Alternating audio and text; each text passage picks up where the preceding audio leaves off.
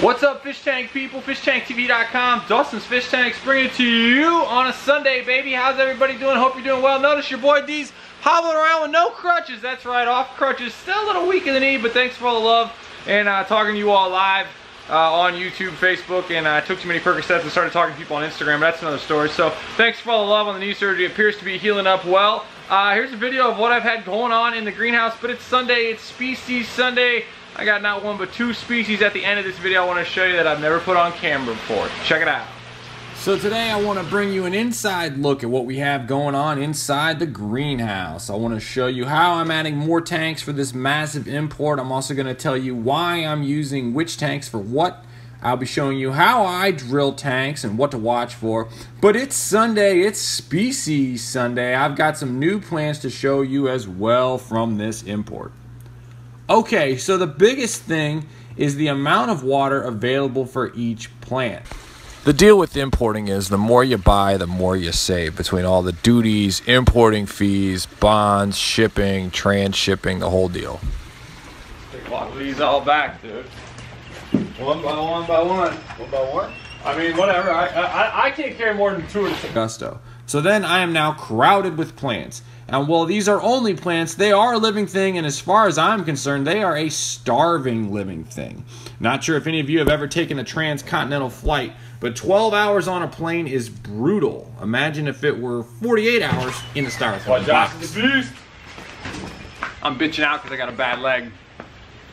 Okay, so what's up with the plants? Well, the plants are coming in deprived of light and any nutrients. They also haven't been in water for a while. We need to make it easy to provide both out. light and those nutrients. Oh, now, yeah, if son. these were plants that I was going to set up for myself, I would want to feed them at their roots and I would plant them down in dirt Looking or some sharp. other good substrate. Nice.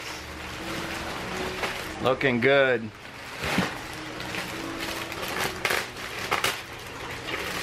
Alternanthera, Telanthera. Looking gorgeous. This situation, it's all about water changes fast and easy ones. Now I'm going to drill some tanks here and show you how I do it.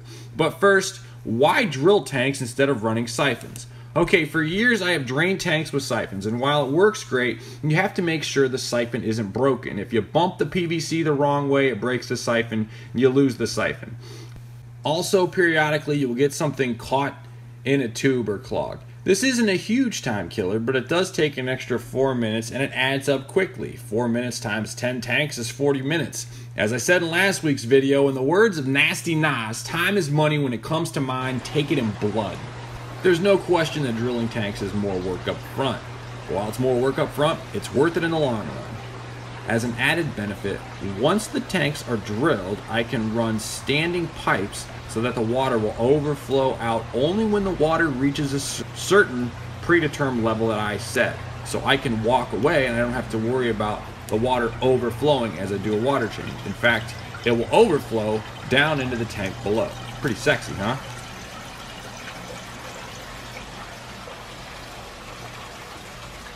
Set it and forget it. Speaking of sexy, Drilling tanks is like Get losing wet. your virginity. You might not be the best at it your first time. You might go too quickly. You might not have a big enough hole. Or you might leave the room crying because you messed something up. Use protection, folks. Cover up your eyes. You don't want glass spraying up in your face and making you blind. How do we get to Carnegie Hall? Practice. If it's your first time drilling a tank, I recommend that you do some test drilling on a few broken tanks. Why not? Grab a broken tank and drill some holes. Here's how I drill tanks. First, use a good drill. I know a number of people who use drill press. If you have a drill press and you can set up a tank in there, even better. I'm using a crappy handheld drill here. Second, drill a template. I use the bit that's made for glass and I drill through the wood first as a guide. I'm not sure drilling tanks is even possible without some sort of a guide like this. This step is actually the hardest part because you have to get the bit down in there to make that hole. Once you get a piece of wood with a nice hole in it, the rest of it is actually pretty easy.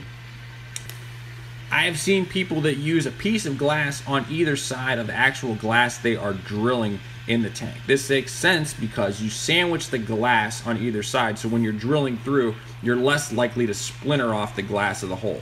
Also, use really nice clamps so everything is held tightly in place. Now we are getting ready to drill. But before you drill, make sure you measure where your hole is going to be and look to see how closely the bulkhead will fit. I have drilled tanks too closely to the edge and cracked them trying to tighten up a bulkhead only to realize it was up against some trim. Now let's talk about bulkhead location. As I showed you last week, I'm running these in the middle of a tank or lower. Now a note on this. If you have the right bulkhead, you can fit a pipe on either side of it and use an elbow down inside the tank. You will still be siphoning essentially, but it will work. The added benefit to this is that if something happens to your fitting and your tank starts to drain, it will only drain down to the level of the hole. If your hole is halfway down, you're going to drain your tank halfway down. Hindsight has been 2020 for me with drilling bulkheads. Initially, I used too small of fittings and the hole. Ask me how many times I've had to dig a snail out of a too small of a hole and an overflowing tank. This is fine in the greenhouse. Let this happen inside and watch how fast my wife would cut my nuts off. Okay, so we have cut a bunch of holes. Like losing your virginity, you should be getting progressively better over time. I'm going to stick with the sex analogies here for just a second and say that while drilling tanks, the slower you go, the better. Heyo! You want to rinse out all that stuff out of there. And they say to get rid of the uh, shredded glass or whatever makes the bit last longer too.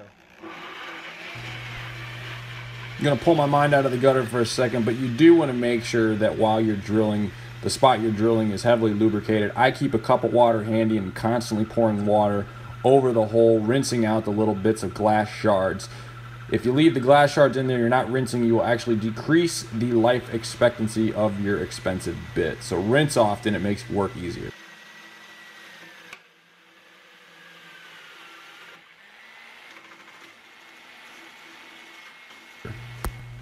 All right, so now I can do quick water changes. Bam! But we still need to be concerned about the overcrowded plants and having stagnant water. We go back to the beastly air pump for this. Check out this badass air pump. Yep. This thing is a gangsta.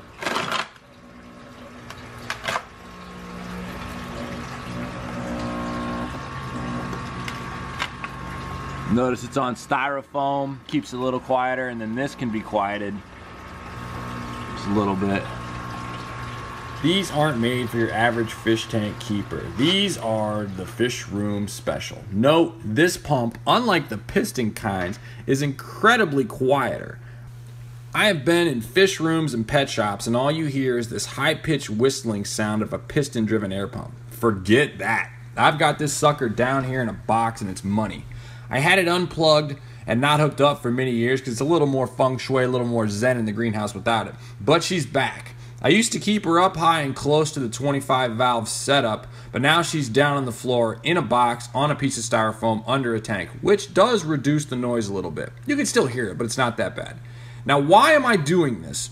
Well, we want surface agitation and as much atmospheric air as possible in our tanks. Here is a graph of what is made up of the air we breathe. Yes, lots and lots of nitrogen.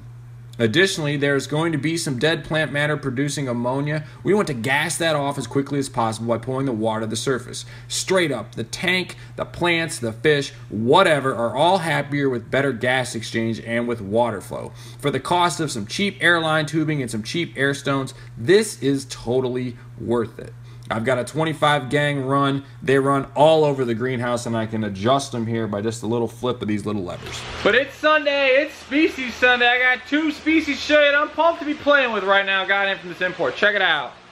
The first one, rotate the camera around here, is uh, We'll start with Cabomba right here. Now look, I haven't uh, messed with Cabomba. It's actually a really, really easy beginner plant. You would have think I would have messed with it long ago. I haven't. I don't really mess with it. Uh, this is green Cabomba, Cabomba Carolina, Carolina, something like that. It's Carolyn's in the name or whatever. But uh, this is native to North and South America. Um, hardy plant likes I found it likes a hard cut to be replanted. So this is green cabomba. There's another couple varieties start with a P. I'm going to butcher the pronunciation of them that are not quite as hardy, but this green has been good. This stuff is great for any kind of like uh, baby fish or anything that needs to be uh, protected or little fry could either live in it or the stuff that the fry eats could live on it and the fry could eat off of that. So definitely check out Cabomba. There's also purple varieties of Cabomba. I mean, this stuff is pretty cool. I'm liking it, but folks, I've said it once, I'll say it again. If something Hell, after the knee surgery, if something were to happen to me, make sure Jungle Val is in my coffin. Check out Skinny Val, folks. This is Vallisneria nana. Now, I haven't even planted this stuff yet, but it's already, at, it's only been floating, but it's showing me new growth, so I'm super, super pumped about that. It gets a lot longer. I, I had it come in, you know, about that long. It melted, came back, though. So I'm really, really enjoying this plant. Haven't even really started playing with it. I'm looking forward to seeing what it looks like in Escape. Skinny Val, I mean, just like other Val, will melt back, uh, you know, will come back, likes uh, a good substrate. This has been floating and doing just fine. So that is what's up. Let me know what you think about Cabomba. Let me know what you think about this skinny Nana Val. Both available are on Dustin'sFishTanks.com if you want to check them out. Support your boy. But I got to tell you, folks, thanks again for all the love on the knee. It felt good. Everyone's like, you know, telling me what's up and, and saying get well soon all that feels good to be uh be loved through YouTube and all that. Uh, make sure you're clicking the not only subscribe button but the notification. so when I go live you get an update on that and click click there. See how you do it. Hit the notifications button. You'll get notified of stuff I got going on. AGA is coming up this weekend. I will not be able to attend. I'm going to be at the American Girl doll store in Columbus for my daughter's birthday. Not to mention the knee isn't 100%. I'm not trying to get on a flight. So everybody have a blast out there at the AGA.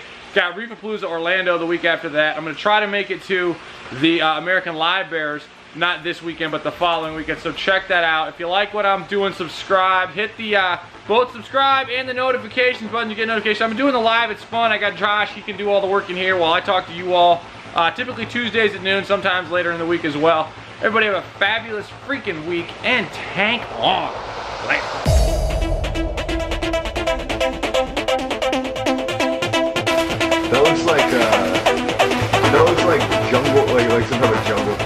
Oh, yeah.